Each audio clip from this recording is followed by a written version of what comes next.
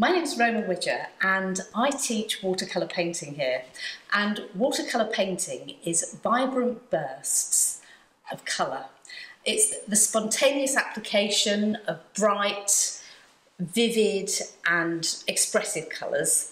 And when I started to teach watercolour, it occurred to me that lots of people don't use quite enough bright colour and they don't make the most of the methods. So what I'm hoping is that people that learn with me will learn different methods and in some ways could interpret and extend their skills. Colour mixing is so important and the mixing of colour, um, if you could just mix me a nice green there and we'll talk through this. Yellow and water go together first. Then if you have a green you're using, you add it and then blue afterwards. That's because with watercolours you always add water, the lightest pigment and then a darker pigment. I can see there that you've got a nice fluid green. That's the kind of thing that you would mix in advance. Um, I've started the painting here. The painting has got the sky and the moon and what we're now thinking about is green grass. So if you could mix me a couple of greens, and you might use one green, a lighter green like this, and the slightly darker pigment from Prussian blue would make a more intense green. That way, when the grass goes down, you can blend as you go.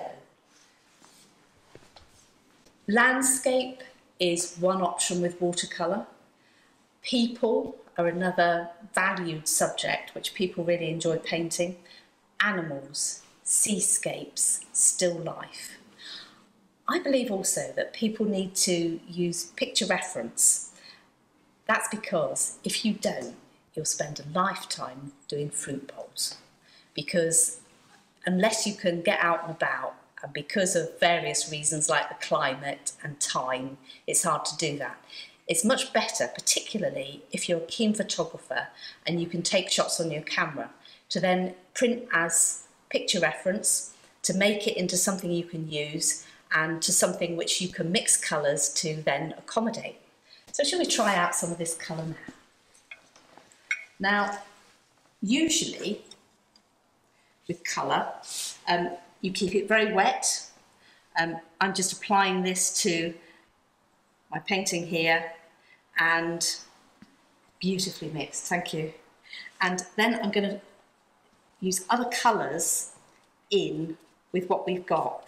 And it's useful if you've got quite a lot of different variation of colour on your picture. And you can mix on the paper. You can um, use quite a bit more water. Imagining that you've divided your paper like a noughts and crosses board so that either here, here here or here would be the position for your focal point.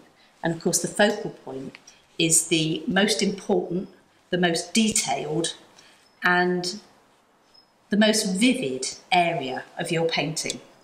So I'm working here on the grass. I want it to be bright and punchy at the front, and I'll add some effects like this by making it bright and punchy at the front and duller, although still quite interesting at the back.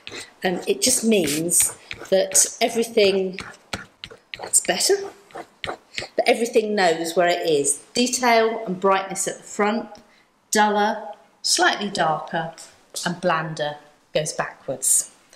And I think down in this corner here, we have some quite yellow yellow And again, I'm going in with a bit of etching.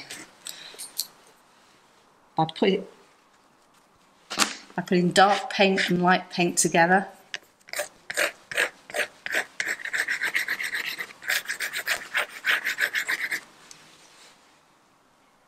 What I shall now do is add a windmill over there.